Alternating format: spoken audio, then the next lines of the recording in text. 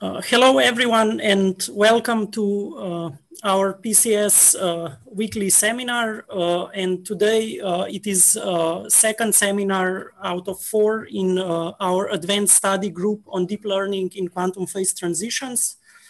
And it's a great pleasure to have with us Professor Ilya Eremin, um, and I would like to ask uh, our uh, the advanced study group convener, uh, Professor Viktor Kagalovsky, to introduce our speaker. Please. Okay, thank you, Tina, very much. And it's my pleasure to introduce today Ilya Eremin.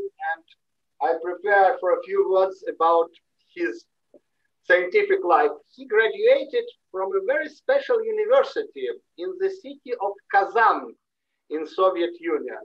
And I'm sure that Ilya is completely fed up when people mention his university, they mean the most infamous student who finished this university, which I don't want to even to say the name.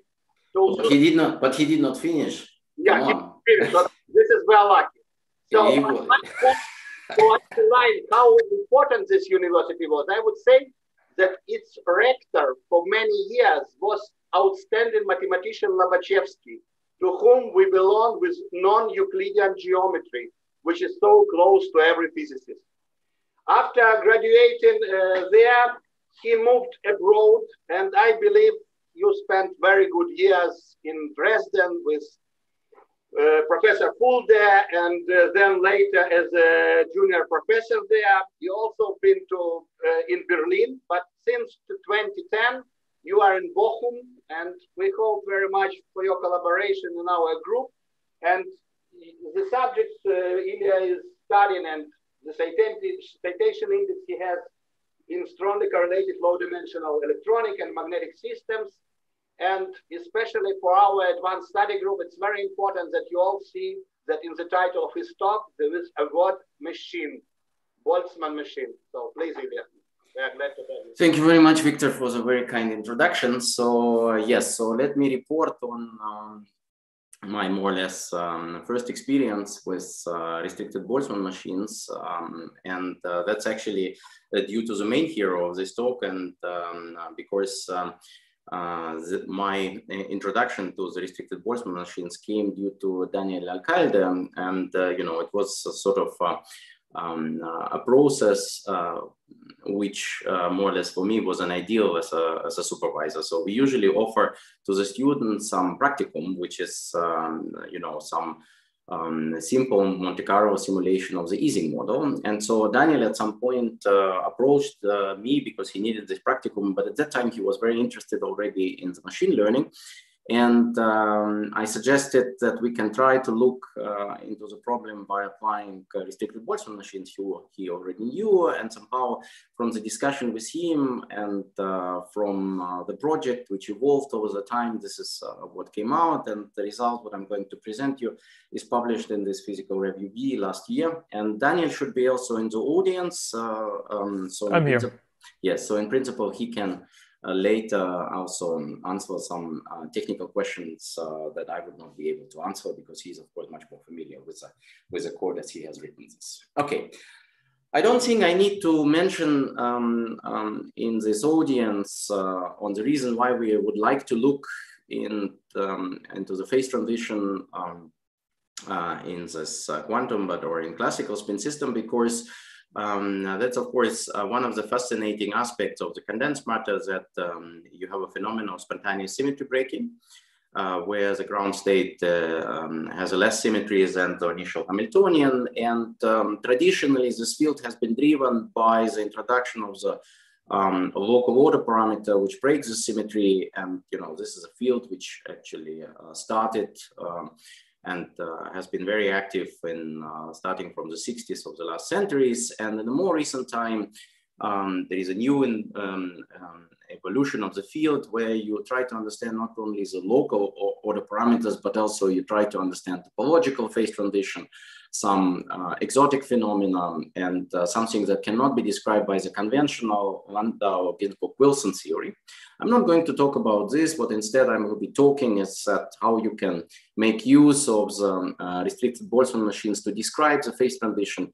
How can you speed up um, the simulations uh, if you apply them um, uh, to the conventional models and um, paradigmatic uh, primer model will be again the Ising models that way you can nicely compare Monte Carlo simulations with, um, um with restricted Boltzmann sheet. But then I will also show that um, even in the application to the uh, more interesting system like Kitaev model on the honeycomb lattice, uh, which we know doesn't have a phase transition, but have a, a spin liquid ground state, um, you can also apply uh, more effectively uh, restricted Boltzmann machines, which again speed up the simulation. But what is more interesting is that um, recently people started to add uh, interactions to this Kitaev spin liquid and observe interaction, observe interaction-driven uh, phase transition.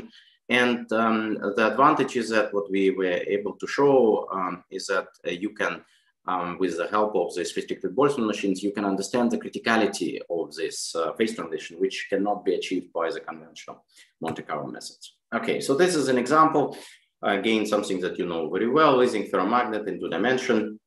Simple description, you have a um, up-down direction of the spin at high temperature because of the entropy, you don't uh, have a phase transition, the state is disordered. Once you lower the temperature because of this interaction, favors, in this case, uh, for the positive J, favors uh, um, uh, the same alignment of the spins. You have a a Z2 breaking where you break uh, the symmetry and you either have spin up or spin down.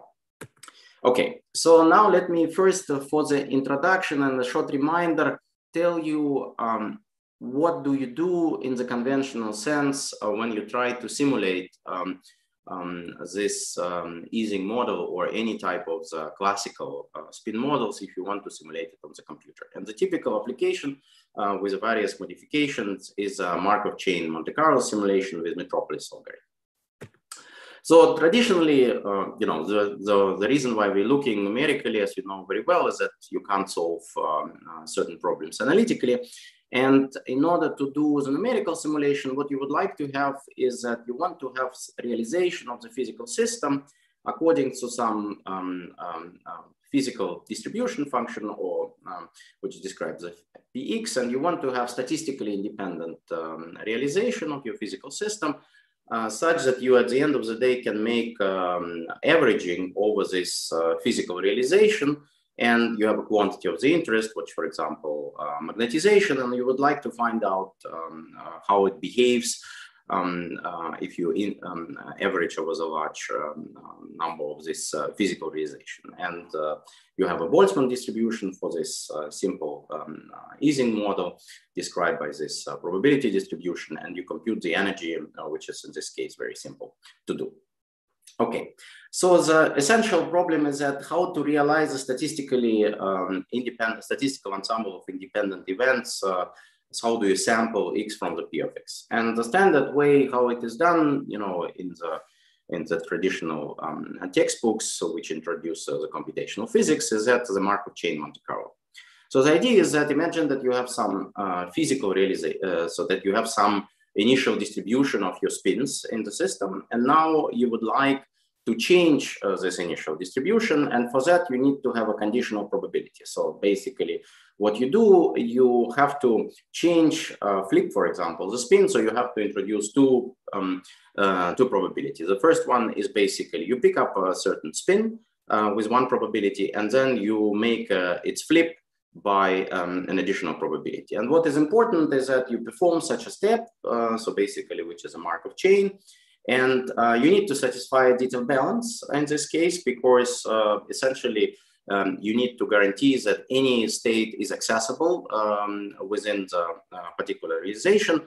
And there are various ways how you can introduce this conditional probability. And this is a, a, Metropolis Monte Carlo, where what you first do, you first pick up certain state uh, with a certain probability g of x, and then you flip the spin, and you, uh, which will be this uh, x prime state, which is, uh, for example, you have a white orientation of the spin up and the black becomes the orientation of the spin down, and then you decide what uh, to do with the state. And there is a certain probability that if uh, the random number that you generate between zero and one is uh, lower than um, uh, the Boltzmann factor or the energy that is uh, increased or decreased by this, um, and uh, if the random number is below, then you accept the state, and if you don't accept, if you see that this is lower than then your random number is lower than this uh, value, the change of the energies, and you basically keep the state the same.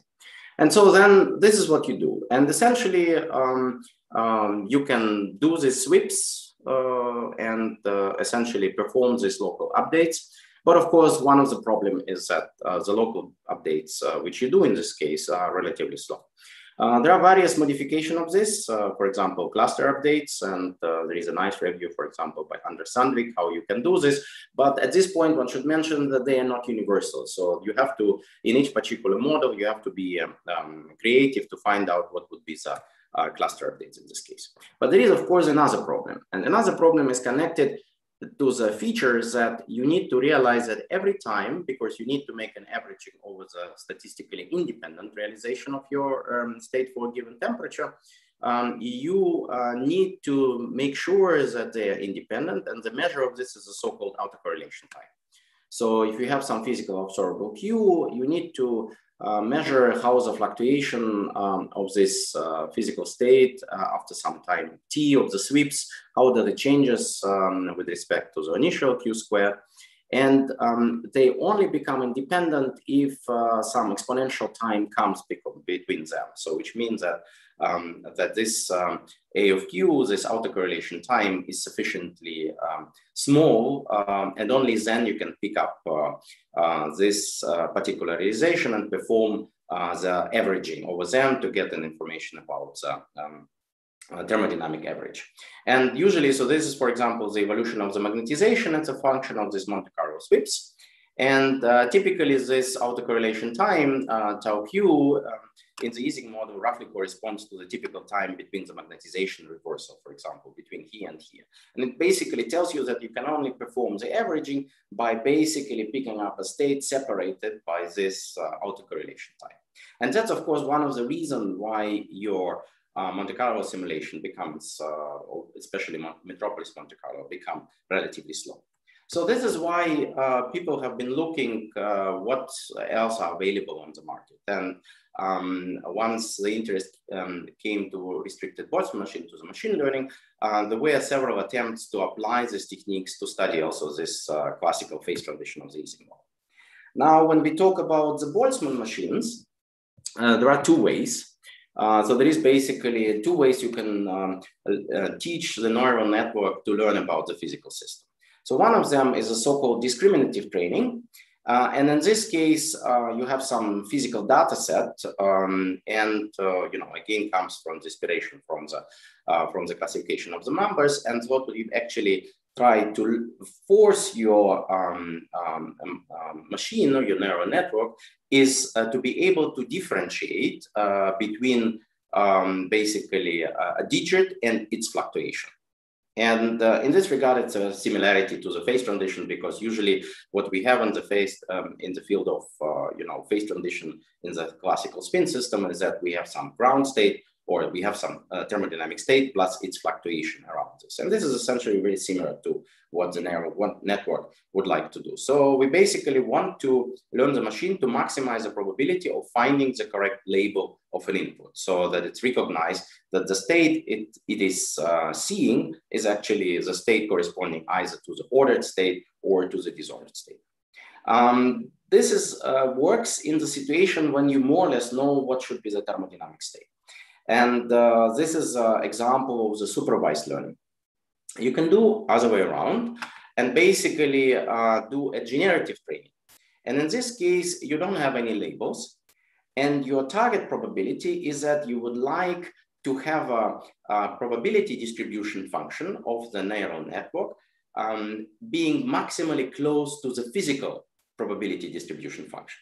And this is needed uh, in order later to make um, uh, basically to use this probability distribution function or to generate physical state from the probability distribution function from the neural network and not from the physical state because that can be at the end uh, more efficient. Again because um, uh, because of this autocorrelation time for example in Monte Carlo which makes this relatively time consuming to generate independent physical realization. And you hope that in these uh, neural networks you can do it faster and this is an example of the unsupervised learning And uh, basically, both of them have been already applied um, to the, especially to the Ising model. So the pioneering work is by the Carrasquilla and Roger Melko, where they essentially first did uh, discriminative training, which works very well um, and uh, relatively efficient in this case. So again, um, the um, analogies that you use is that uh, neural networks can differentiate between various digits.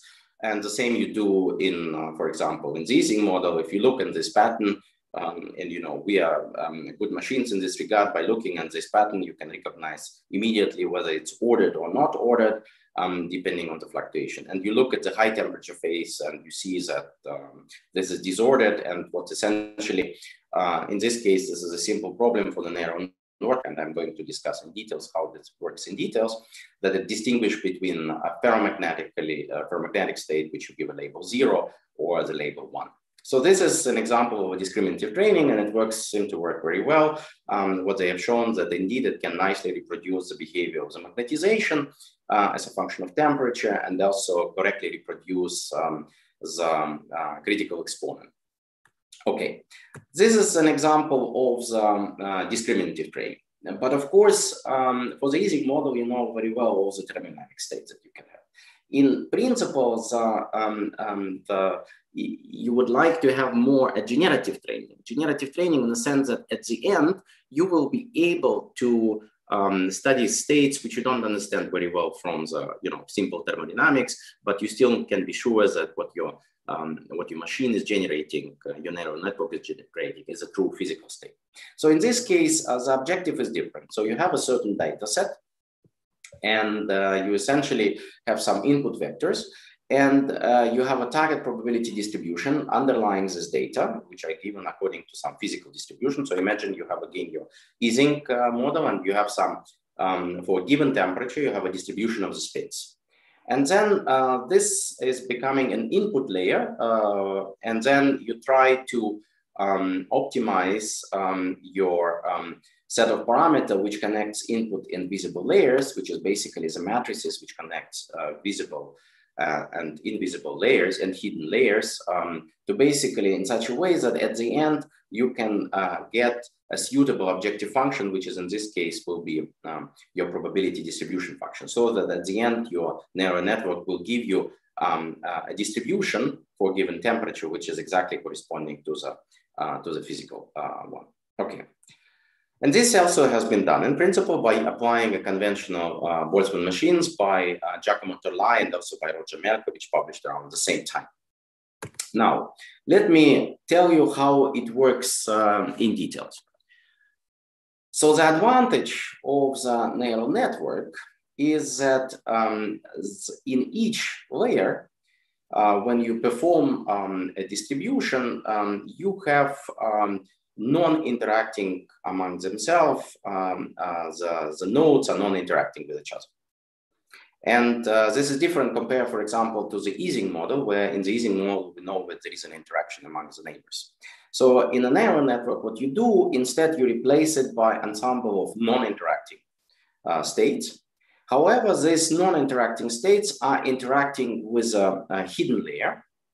And as you see, in this case, each node interact with each node. So it basically, um, and that represents sufficient, sufficient um, slowing um, uh, factor for the neural network that, for example, you need to connect X1 to the H1, but as many um, uh, input vectors you have, um, to those you will also have a connection. So here it is restricted to four, but in principle, if you have an N um, uh, um, uh, component, uh, and in principle, your lattice will be uh, basically your N component of your state, this will be connected to this hidden layers.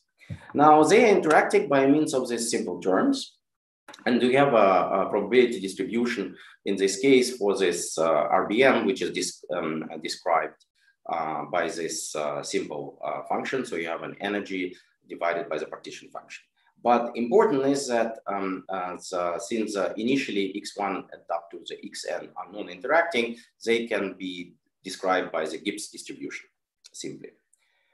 Okay, so then uh, what you happens in this case, you would like to change from the physical state X or initial state X to the state X prime. And this is done by basically conditional probability um, PH of X to some hidden layers And then uh, from the hidden layers, you go to the output layers, which is X prime, which is, let's say, another physical state that you would like to realize, which should be as close as possible to the physical state. And if you integrate out over this hidden layers, it's basically a probability, conditional probability of the RBM to change from the state X to the X prime. Okay, so this is the example. How does it um, happen? So in principle, according to some matrix um, uh, W, you first change, um, and in this case, because here it is shown in one dimension, so you need to have a two um, neural network, which is one acting along x direction and another one is acting along the y direction. And this is why you need, um, in two dimension, you need to have two hidden layers. One, which is basically changing from the state x to the h, h. So there you see that according to some um, random um, numbers between zero and one, this uh, probability is changing the state from x to the h0, or if you do it along one direction, changing from x to the h1, and then according to some next probability x to h, changing to the new x prime. And this is how the evolution of the system happens in this case. Important is that at each moment, um, on each of the layers, they are non-interacting among themselves. So the interaction only happens during this process and that happens in a stochastic fashion. Okay, so this is uh, then how um, the exact form of this uh, PRBM looks like. So you have this um, um, energy, as I already mentioned. So you have now your x1 and x2 interacting only with h1. And then after you perform the um, integration over the hidden variables, you end up uh, effectively with an interaction of x1 with x2. And actually, this is the whole essence of the restricted Boltzmann machines applying to the um, you know, to the spin systems that you put an interaction which initially, of course, in the physical system is among the nodes, that's basically among the nearest neighbors, but um, you replace it by the non-interacting layers, interacting with some hidden layers. And once you integrate these hidden layers, you get an interaction here. And you know, um, for those of you who work in condensed matter theory, it's uh, essentially uh, um, more or less uh, a standard way you also deal with uh, frequently with strongly correlated electron system, where frequently we introduce some auxiliary particles uh, in order to put, you know, the inconvenient form of the interaction in this auxiliary uh, region and uh, reduce the problem for the visible. So that's for the physical system to a more simple mean, field like Hamiltonian. And it's exactly what happens also in the RBM, where you essentially um, um, um, appear, where the interaction appears after you integrate out over the hidden variables. And this is an example. So again, for a very simple case where you have just put two uh, visible uh, units x1 and x2, h1, and you write explicitly what will be the interaction. And then you write what will be the probability distribution appearing in this case. Once you integrate out over the hidden variables, the jargon of the restricted Boltzmann machines is that this quantity is not called the energy, it's called the free energy. And in this case, um, you basically get this form of the free energy, which appears here in the exponent, and that's basically decides upon the change of the structure from the x1, uh, x2 to the h1, and then to the x prime. Okay, so then um, um, the advantage that you get in this case that in each moment, the probability distribution, because on each layer, um, each level, your um, layer of uh, variables is uh, um, non-interacting with itself, only with the nearest neighbor, then the expression of the um, uh, probability, uh, conditional probability can be followed just from the Bayes theorem and uh, is relatively easy to sample uh, from this uh, simple distribution. And again, um, as, um, um, as, what I've shown to you is shown in more details how you get from x prime. So you have an x state, you apply this uh, probability, conditional probability from x to h, which is changing to the state h or h1. And then with another, uh, applying another uh, probability distribution following uh, conditional probability distribution, you arrive at the x prime state. So this is exactly what happens in the, in the neural networks.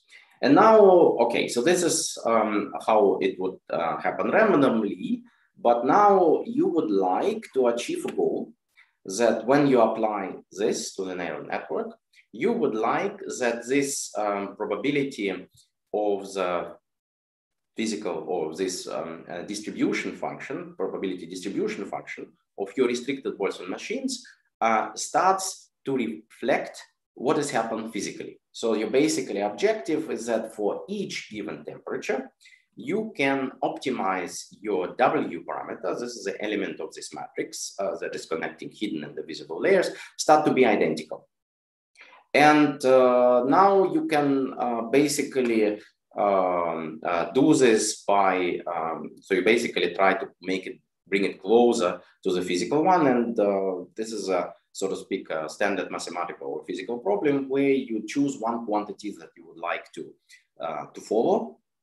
Uh, you can still use some labeling. Uh, for example, you can uh, try to reproduce the energy of the state. Um, and in this case, you um, basically um, uh, measure of this um, uh, modification of your matrix elements V will be the, that your difference in the energy uh, between the physical um, uh, energy and the free energy uh, of your uh, network becomes close to zero. And once you achieve this, that's basically means that your your, your probability distribution function of the RBM uh, is optimized in such a way that it replaces the physical distribution function for given temperature. And this you can do for each temperature essentially.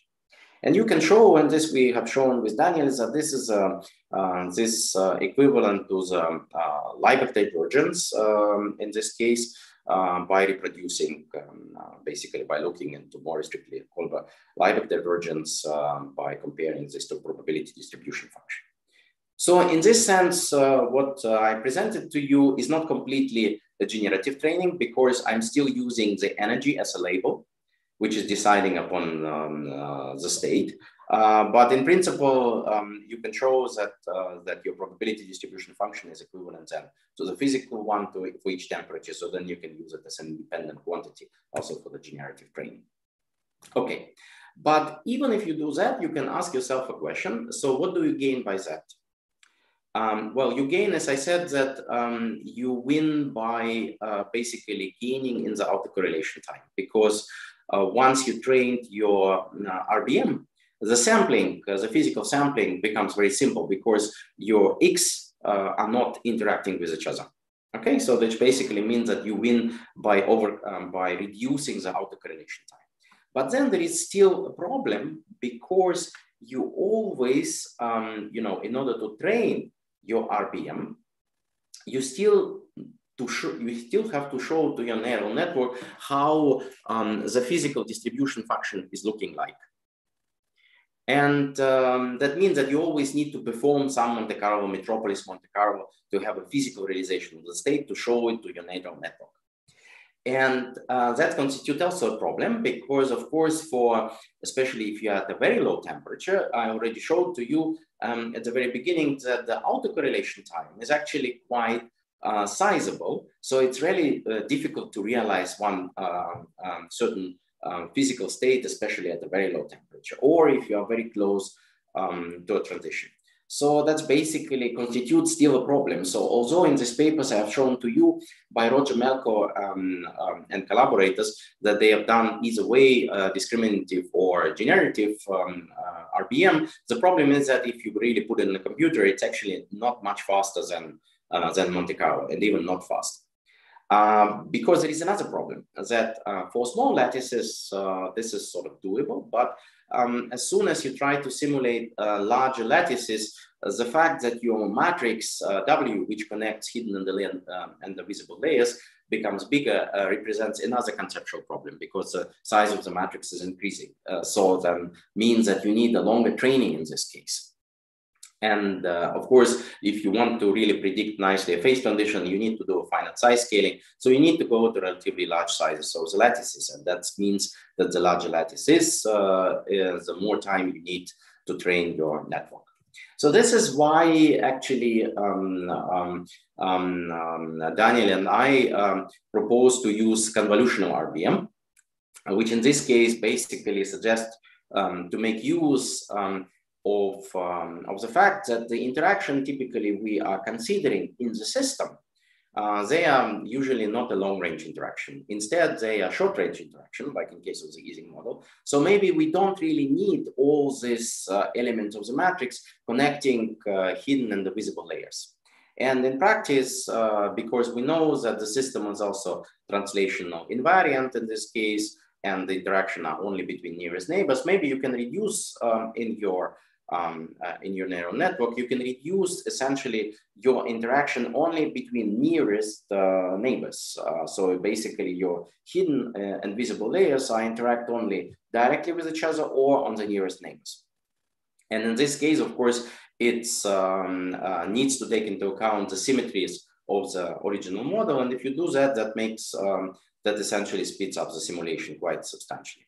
And in this case, you control analytically that um, there is an exact mapping uh, between an Ising model and uh, the neural network. And in this case, uh, and you can show that uh, you don't essentially even need to train because you can show that all the formulas uh, becomes analytical in this case, and you can express all the uh, probability distribution function for your restricted Boltzmann machine or convolutional restricted Boltzmann machine in this case by simply reducing the, the number of um, coupling. Okay, so in this case, you immediately solve uh, the problem because you reduce the number of parameters. Uh, so the CRBM, uh, so you, what you need essentially to do, you need to train your RBM only on the um, uh, few uh, sites, uh, on the few lattices. that's basically in our case, we started from the L equal to three and then uh, train the network on L equal to three. And once we train it on L equal to three, we used uh, uh, translational invariance of the system and simply expanded our network to the larger size and uh, already made physical realization not from the, um, not by performing Metropolis Monte Carlo, but by simply performing um, RBM distribution and essentially applied the train on small l and sample for larger L uh, using the results for the smaller L and simply look what happens in this case. Okay, so this is how it practically looks. So um, you have, uh, let's say, imagine you have a lattice uh, six by six, for example, and then uh, you have your kernel uh, of your um, uh, convolutional RBM, which is always applied to the L cross L and essentially, um, instead of computing the entire, you compute the convoluted um, uh, features uh, in this case on each, uh, um, on each um, um, uh, basically element of this uh, uh, six cross six and um, basically performing the, the RBM distribution in this case. And let's see whether it really works. So you start initially, this is, for example, again, for L equal to three, you can nicely see how this element of the matrix looks. So initially you start, again, you need to have two hidden layers. One is acting on a X direction, one is acting along the Y direction. And this is how it looks. So the color doesn't matter. What matter is only whether it's colored or not colored. But important is that um, once you start with this and you uh, put it after training, you realize that your matrix immediately learns that the interaction is actually happening among nearest neighbors. So every time you put it in the computer, you see that um, after the training, you know that your matrix, although initially you started along one direction, it always has uh, elements uh, which is uh, equivalent among X and Y direction and essentially having um, interaction among X and Y in this case. Now, um, before showing you the physical curve, um, you want to compare what happens at which point your uh, convolution RBM start to overcome um, the traditional uh, Monte Carlo simulation. And actually you notice that for the Ising model, uh, that only occurs for the relatively large number of the lattice sizes.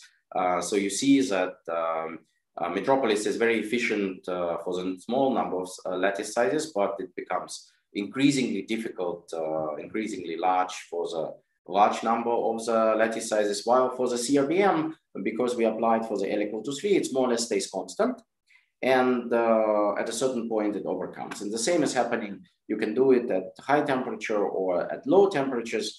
And uh, you see that uh, this is basically, uh, the, the answer is that the convolutional RBM overperforms uh, better than Monte Carlo for the large uh, number of the lattice sizes. For the Ising model, it's again just a proof of concept because Metropolis works anyway quite well for the Ising model. I will show you in a second that the problem uh, appears if you deal with a more sophisticated model like a Kitaev model. Okay, and then you can compute um, the physical observables. So you see that uh, at least on the scale of this curve, you don't see any different. You see that Metropolis and CRBM on the same um, uh, number of the lattice sizes behaves uh, the same. And now at this point, I would like already to mention that despite of the fact that we actually learn um, uh, the interaction, our matrices, we learn the interaction on the small uh, lattice sizes. And then we simply expanded our lattice, but applied always the same convolution RBM, uh, which is was trained on three times three. And it seems to work quite nice. All these finite size um, effects are the same as you would do, you know, in the traditional Metropolis Monte Carlo, where you would, uh, you know, do the standard flipping on the entire lattice. It seems to, um, it, it see, you see that actually um, um, uh, your um, basically your finite size effects are exactly the same like in case of the metropolis BS in this case. And uh, you can nicely see the phase transition.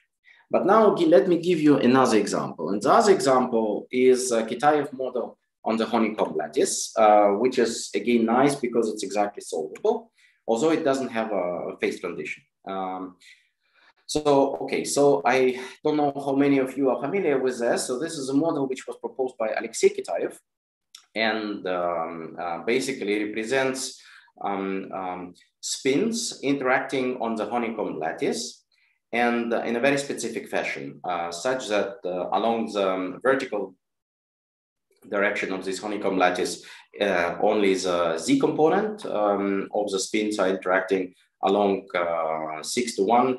It's interacting with the x, um, jx, sigma x matrices are interacting and along Y uh, interacting the JY uh, matrices.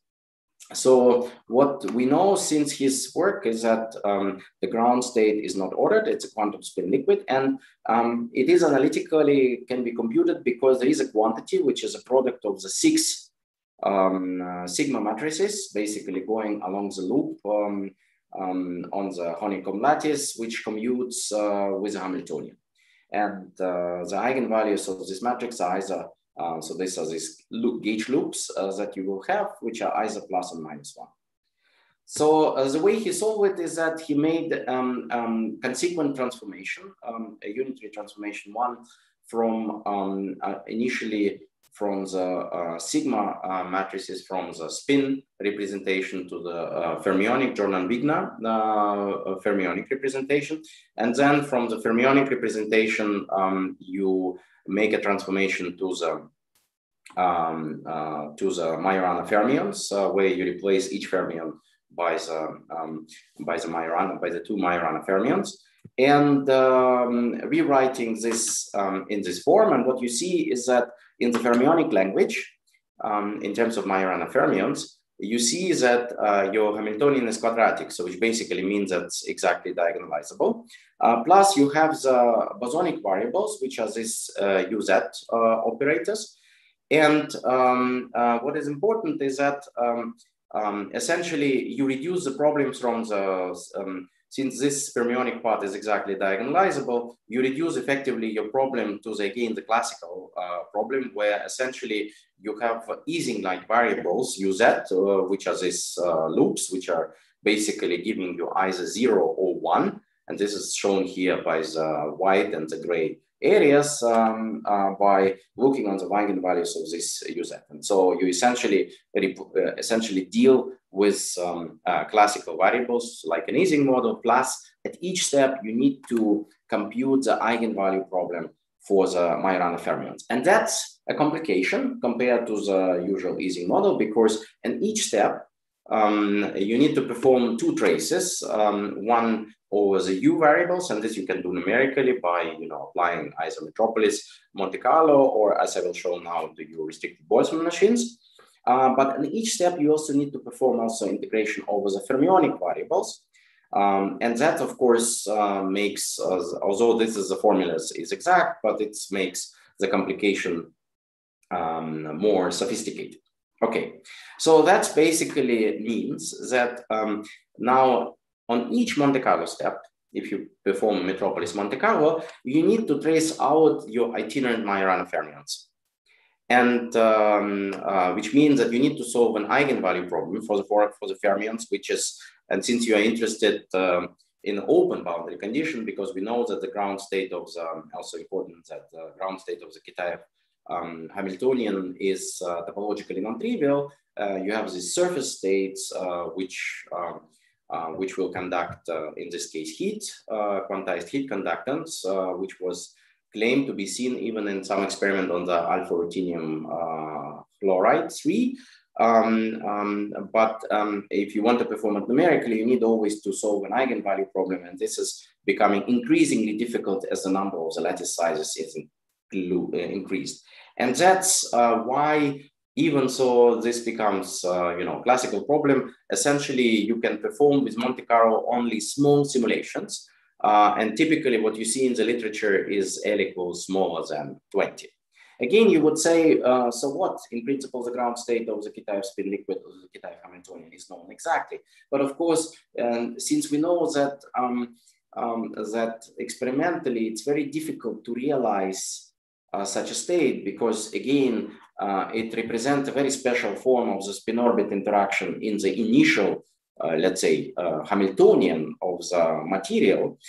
typically, you get extra terms, and these extra terms yields interactions, which then yields that the ground state is no longer spin liquid, ground state, but have some uh, magnetically ordered ground state. And you, apart from understanding this magnetically ordered ground state, you also want to understand how far you are actually from the uh, from the quantum spin liquid um, ground state in this case. And um, again, so here the, the problem in the literature is that you can only apply small um, size. So this is what we um, did as uh, basically after we um, saw that um, on the Ising model, uh, the CRBM yields some um, improvement. And we applied the same algorithm essentially um, to the Khanikov uh, Kitaev model on the honeycomb lattice. Uh, I show you again the kernel. Um, and here um, we used um, um, initially uh, on the L equal to eight. And uh, what you essentially see in this case, and we have a six times six kernel, what you see in this case, again, this is uh, the colors that you have. Uh, so you have four um, matrices, uh, W1 to W4, which is essentially a train. Um, so what is the essence of these uh, blocks? The essence of these blocks is to show that, um, as, um, uh, that you see that the interaction that your uh, that is encoded in these matrices is still um, short range.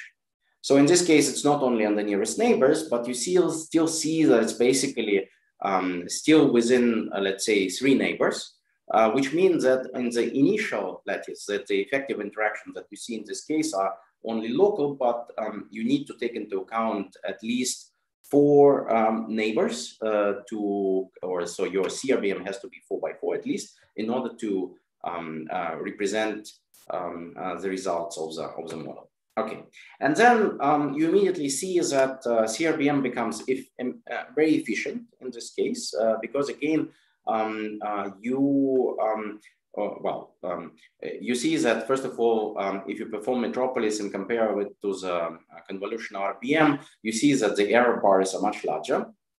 Uh, in the case of the metropolis. And then another thing is that if you look at the energy and say if you again use energy of the system as a quantity that you would like to um, um, approximate with your restricted Boltzmann machines, you see that if you apply um, uh, Metropolis Monte Carlo, you see that uh, this is your exponential decay, and this is uh, gives you the autocorrelation time uh, when you can basically start to perform after which, at which time you can start to perform um, um, um, as averaging to get a physical realization of the state. While you see that in the CRBM, um, it appears essentially uh, on this scale um, immediately learns right the energy. So, and then again, the reason is that in the CRBM, you don't have interaction within uh, each layer. So on the each layer, the, the interaction is absent, and that's as here becomes uh, of paramount importance.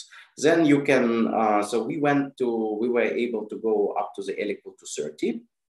And uh, um, in that case, what you see, uh, we know that the Kitaev spin liquid doesn't, Kitaev model doesn't have a um, phase transition. So you clearly see this by computing, for example, specific heat, you just see the maximum. It's a little bit changing, but there is no um, there is no phase transition like uh, you have, and you have a certain convergence um, uh, for increasing the N. Now, again, this is just a proof of uh, concept because again, uh, you can compare with exact analytical calculations, but now you move to the interaction. And of course, um, uh, the problem uh, is that you can still keep uh, the model, um, um, let's say, mappable into the um, Ising-like model uh, for the numerical simulation as soon as your Hamiltonian in the language of Majorana fermions uh, becomes quadratic. So this is, for example, um, what Cristian Batista and collaborators did is that they propose that you can add additional term to the Kitaev Hamiltonian, which is written as a, you know, as a product of the four, so the four spin interaction, so which they call the K3 and K3 prime. So this is uh, basically your original um, uh, Kitaev Hamiltonian. You have uh, sigma x, uh, sigma x along the x direction, sigma sigma y sigma y along the other direction and sigma z sigma z along the other direction. Now, if you plot it on the honeycomb lattice, you see that in this case, uh, this becomes an interaction with four spins, basically involving here on this loop, and also, of course, symmetrically on the other, because um, the symmetry has to be preserved. And you also have um, uh, this K3 term, K3 prime term, which is basically now um, uh, where you go beyond this, uh, this. Now, they, in this case, uh, you can't solve the problem analytically, but they try to do um, um, uh, conventional uh, Metropolis Monte Carlo simulation, again, performing exactly the same tricks.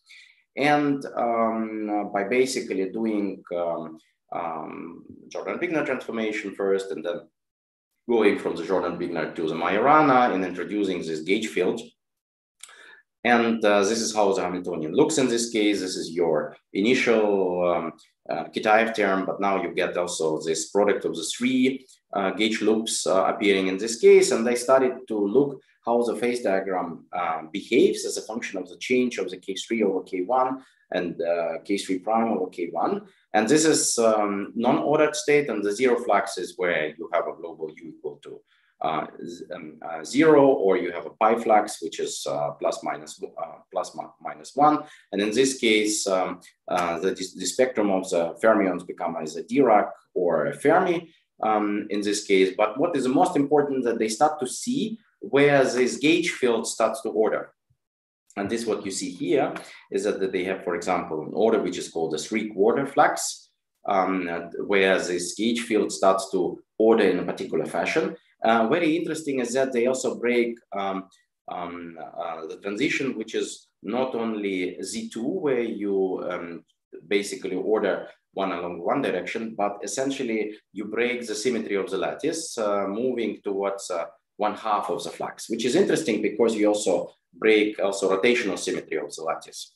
Uh, which in principle raises a question whether the transition in this case is a, is a single component one, or you have two transition where you first um, uh, basically introduce some um, rotational symmetry breaking and only later you introduce this uh, ordering of the spins because of course behind this there is also an ordering of the spins uh, behind this uh, um, gauge uh, field there is also an ordering of the spins Okay, so um, they did the calculation uh, of the specific heat. Uh, but again, since they were limited to the L equal to 20, and this is a principal difficulty of the Metropolis Monte Carlo, uh, they were able to show that there is indeed a transition and they were able to uh, figure out what would be the, um, uh, the order parameter, which is in this case the density because you form uh, another type of the crystal. But of course, uh, the big problem is that uh, they were not able to pick up an exponent because they just didn't have a um, didn't have a particular um, um, resolution. And this is something that we did recently, where we essentially applied um, CRBM. Um, uh, to, and we could go to the L equal to 36 and uh, actually we're able to see uh, not only the exact how the transition behaves as, um, uh, as a function of uh, uh finite size um, um, uh, correction, but also um, we also were able to see the critical exponent. And this is important um, because um, it also tells you what kind of the magnetic transition, what kind of universality class. So for example, here I show you was a three quarter phase uh, shown here, uh, which is, uh, this is a Monte Carlo simulation. Um, and here from the CRBM, you see that, uh, uh, that uh, once you, it becomes sharper and sharper, and you can also show that the universality class, at least what we see now, is very similar to the Ising model on a triangular lattice with a longer range interaction. And this is something which we are currently still trying to bring to the um, to a publication. All right, I think my time is also up. Um, I'm more or less at the end of I'm more at the end of my talk, and let me at this point mention the following: that um, you know um, it is uh, uh, let's say um, uh, it's an interesting exercise to apply um, um, uh, let's say restricted Boltzmann machines to the classical speed system, and I think this is one of the principal difficulties of the applying CRBM to the transition uh, um, is that essentially it is uh, limited it is in this form to the classical phase foundation. So you can modify it to look into the um, to look into the quantum ground state, but this is um, a slightly different um, uh, philosophy because you are not trying to predict the phase transition, but you are really trying to learn, in this case, uh, wave function um, on the lattice. Um, and this you can also do, and there are um, also um, um, direction of research to look also into this direction. But this is then uh, completely at equal to zero. But uh, you can use this and it's uh, relatively straightforward uh, as you see to apply it to the spin system. So for example, currently, um, you know, the students in our institute can do it as a, as a practical.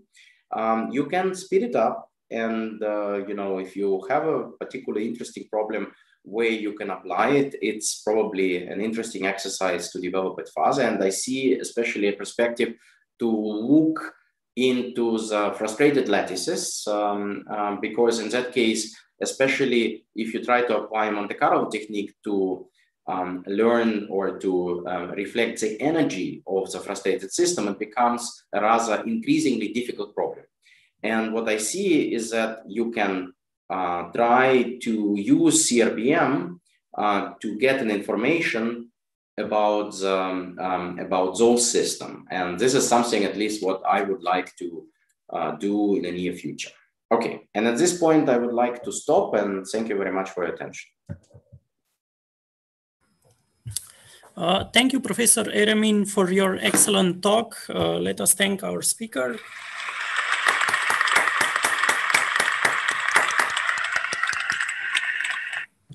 Uh, so please, uh, questions.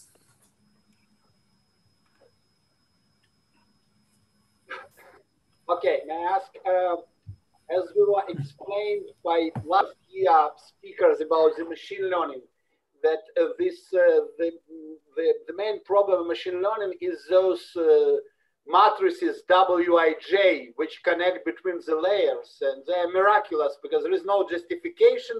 You just hope that uh, they will produce what you want. When you uh, make of them only these two numbers, W1, W2, it still will be, uh, it's definitely an advantage. It's much less to look for. Um, how do you choose these numbers? Can we learn something from it?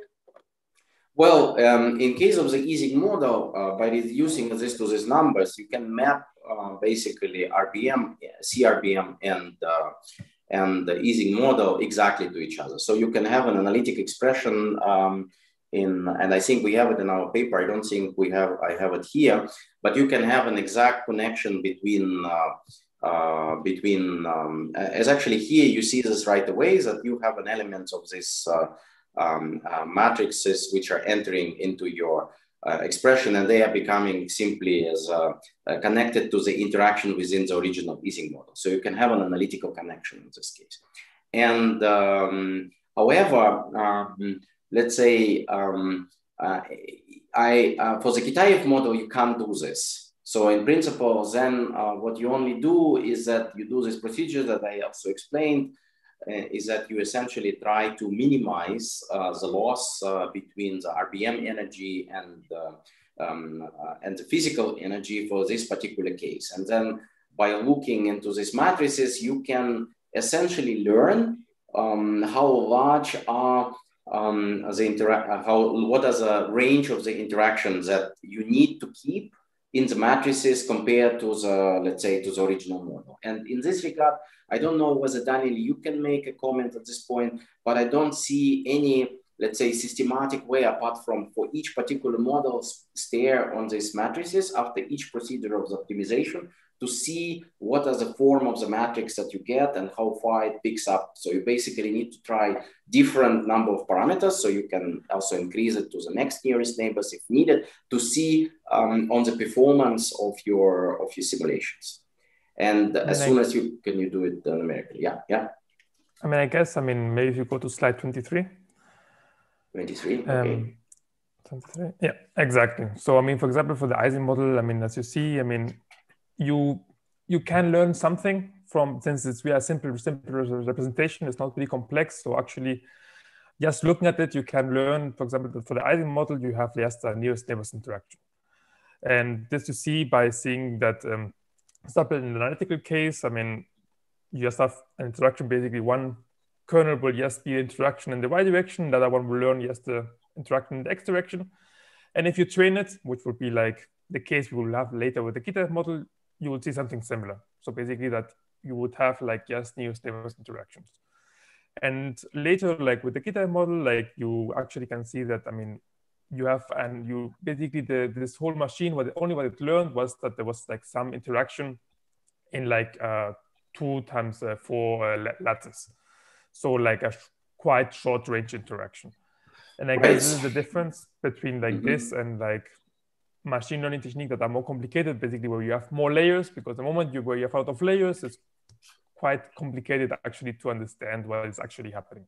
Right. I, I think the main uh, philosophy in this case is that uh, compared to the, you know, complicated problems that these neural networks are trying to describe, you know, uh, for the real life, in a physical system, at least the system that uh, we are interested um, the, the, interactions are well defined, the models are well defined, and in this regard, you can uh, reduce the number of parameters your neural network can do. And you can do it essentially by trial uh, and error, by simply looking what will happen if I reduce the number of parameters, will I gain something, and then simply comparing uh, the results for various. So you need to test, and this is essentially what uh, Daniel did for the Kitaev model by just trying different number of uh, input parameters to your uh, matrix to see how it's performed, how much it's basically present. And of course, you need to have some reference, right? So you need to know a state where you know very well what is going on, ideally analytically. And then you try to see that your neural network can reproduce that.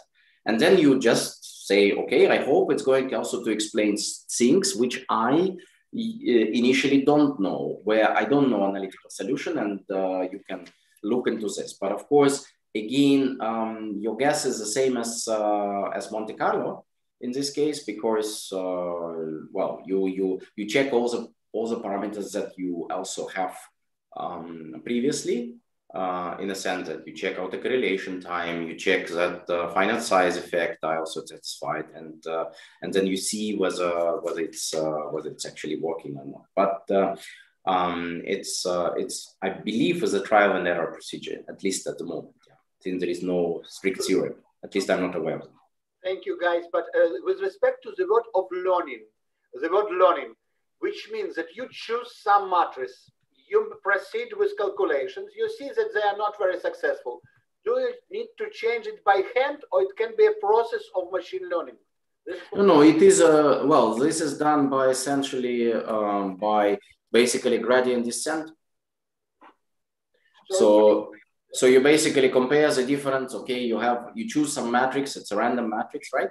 So initially, so you choose some matrix, and then uh, you um, compare the loss uh, of v. So compare determine the loss at, at, the, at, the, parameter change of your matrix W uh, by the square of the energy difference between the RBM and the physical state, and then performing. Uh, so basically do some gradient descent. This is more or less like like you look for a minimum, uh, right? So you look for the extremum, you look for a minimum, and then you apply just a gradient descent algorithm to find the correct form of the matrix. Uh, it's very interesting because it's uh, so it's part of the process. Right, right, right, right, right. So in each step, in each step, you basically you you run it through the hidden layers, and I think uh, we have something like six so you run it through the hidden layers and you look at the energy, you compare the energy of the physical state with, uh, with the energies at your, um, uh, your matrix. uh, uh, W producing, then okay, you see it doesn't agree. Uh, there is a loss between them, and then what you do, you optimize. So you introduce also um, the gradient descent um, by modif modifying the, the numbers of your random matrix connecting hidden and the visible layers by this formula, by simply basically taking a derivative with some parameter lambda. Okay, thank you. And this is, this is of course, a, a problem when you have a large number of W, because this is what means that before you obtain more or less an approximate um, realization of the physical state, um, you need to basically optimize a large uh, W matrix. And that is um, what we're seeing is not necessary because the physical system we are looking, the interaction in the visible. So, you know, the, we, we, we uh, remove the interaction in the visible layer, which exists in the Ising model, and put it in the interaction to the hidden layer. But then why do we want, you know, in neural networks, they say you need to include interaction everything with everything. But this is not necessary in the case of the, of the physical system, where we know that the interaction is actually, most of the time, is a short range interaction.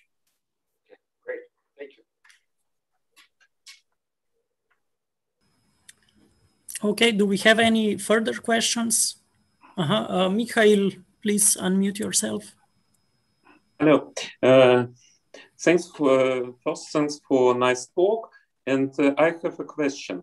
And uh, if we turn to a system with a finite range of interaction, and how difficult is, uh, for example, if you have a power decay of interaction for Ising model?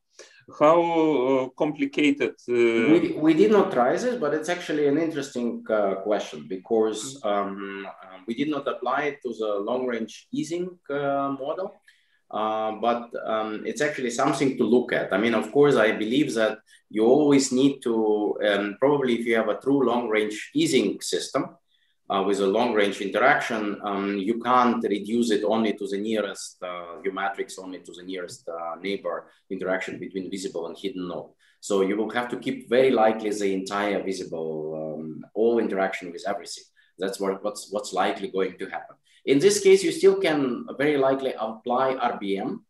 Um, you need to see because uh, as I've uh, shown to you that the conventional or that the the usual RBM, if you compare um, the, uh, we did it for the Ising model and you see that essentially, um, uh, and this is already for, uh, for the CRBM, you see that actually uh, Monte Carlo works pretty well in this case. So it means that um, apart from, you know, applying fancy net neural networks, you probably don't gain that much.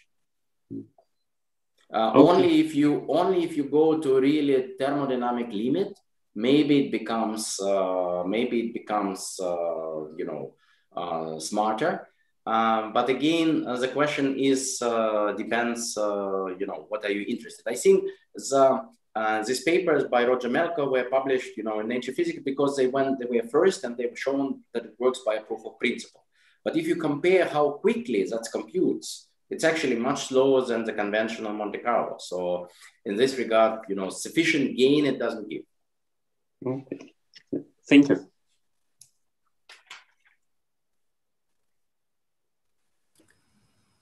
Do we have any uh, further questions? Uh, let me maybe ask a very basic question. So for uh, Kitaev uh, honeycomb uh, model, right? Uh, without the interactions, you said there is crossover. So uh, the low low temperature is uh, the spin liquid. Uh, high temperature is, I guess, some paramagnetic like state, or or how is it? Uh, yes. Uh, so this is a, so if you look at the specific heat, um, yes, that's basically that you have a crossover, but um, you don't have a transition. Mm-hmm. Mm-hmm.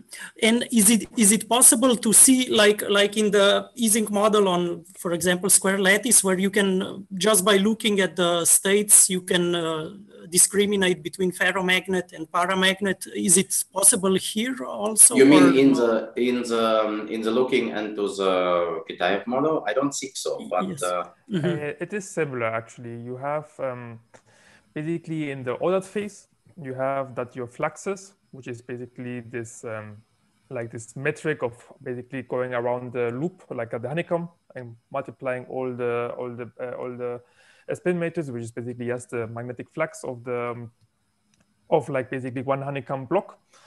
All the fluxes are pointing in one direction when you are at low temperature, which is basically the ground state, and when you increase the temperature, like after like this crossover, you basically enter this sort of states. Right, right. Yeah. So but this is what is this? Uh, right, right. So this is you see if you set K3 and K3 prime, you are in the zero flux space. So it means that they are everywhere zero. So you have everywhere white.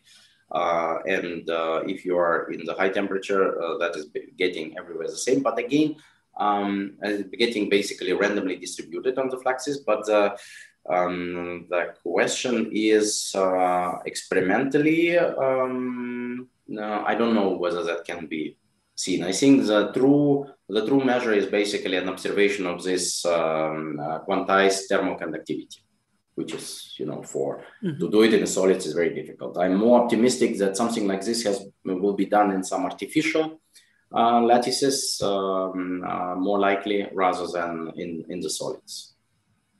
So basically edge transport.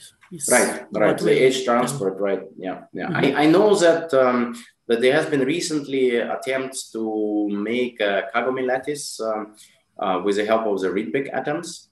Uh, and uh, I heard that uh, that they have been able to realize this non-trivial topological state where you have this uh, transport um, um, at the edge, um, but in the solid, there is one report uh, by Matsuda group, but I think it's controversial because uh, other groups have not been yet able to reproduce it.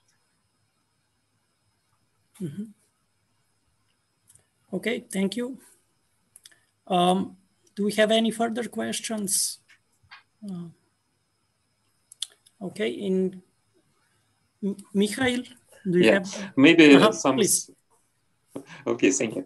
And some small question about Kitaev model and application of a restricted Boltzmann machine. You need still uh, trace uh, for um, uh, to make trace over, yeah, yeah, yeah. Over so Majorana, and right. then you have a Hamiltonian with just gauge field. Right, right, right. But you have to trace because if you do it on the lattice, you cannot trace it, you know, um, um, let's say uh, uh, uh, in momentum space. So you need for each for each lattice that you look on each Monte Carlo step that you do, you need to, in principle, perform a trace of the fermions here. And it's of course analytic. Like... Of, and and no, it gives a correction because you see um, if you look into the where did I have it? Um, if you look, um, uh, yeah. So if you look into your partition function, it's of course a sum uh, two independent sum. One sum is always uh, UZ, but another sum is always a C. But um, mm-hmm. once, you, so they are in principle um, an independent degrees of freedom, but um, of course, every time you perform a Monte Carlo step, um, you need also to do the uh, summation of the Majorana as well. But you applied uh, your restricted Boltzmann machine to Hamiltonian for only for gauge. the use for the use this right, right. Mm -hmm. only for the gauge fields. But in in this you have a in order to uh, since you are interested in reproducing the total energy of the system, the contribution of the Majorana fermions need to be taken into account, of course. Mm -hmm. So you are okay. not separately trying to fit only the gauge fields uh, free energy. No, no, no. Mm -hmm. Okay, thank you.